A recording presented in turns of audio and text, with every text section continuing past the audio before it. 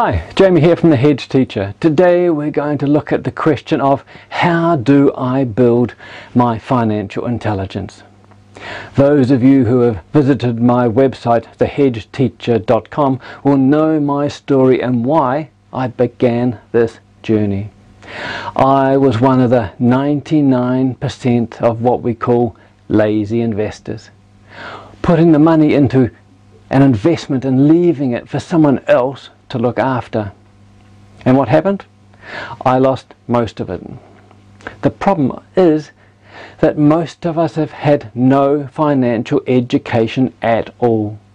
At school, there is nothing or nobody teaching us about money.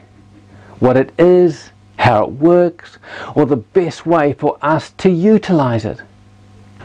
We are still taught in the industrial age education method for people to learn to work in factories, the education of the 1920s. They preach of going to school, studying hard, getting good grades, get a job, J-O-B, just off broke, and retire on 40% of your pay packet. Those days are gone. There is no job security. There's no retirement package. And how long will your pension last you? Not as long as you are going to be living, that is for sure. 90% of retirees in the US hope they will die before their pensions finish. And it's not just there.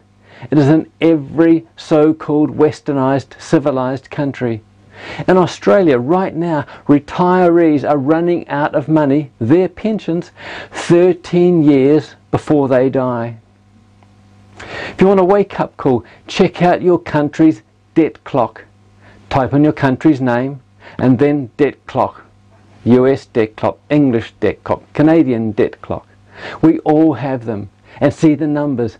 Do the basic equations and see the debt owed by every person in your country. This is a basis of our finances. And remember, this is fiat currency. It is backed by nothing more than the amount and frequency we all spend to keep this current, like electricity, going. We have to make the time and educate ourselves. Bank managers don't give a damn about your school reports. They want to know if you can read a financial report, that you can create cash flow. That is part of the key to your success. Those with a financial education know what questions to ask and what to look for.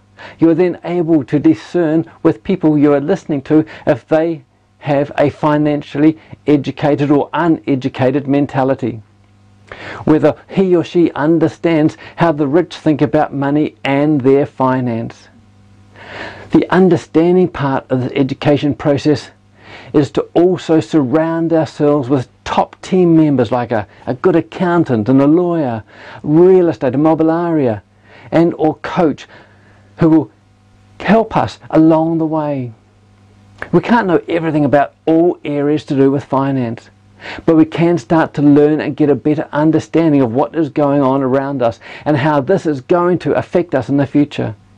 Make a financial plan, even a basic one, and you will be better off than 99% of the population and on your way to achieving financial freedom. When this is done, revisit it and revise it on a regular basis. You'll find that is an organic organism. It is something that will change, develop and grow as you do. As you continue to educate yourself and get more experience in all areas of finance and investing, you will find you can accomplish more and achieve more. And then be able to attain your dreams, the ones that you so much desire. This is a living, breathing document that you will evolve as much as you do in the years to come. This is your time to invest in you. As uh, Robert Kiyosaki says from Rich Dad Poor Dad, there are three sides to a coin.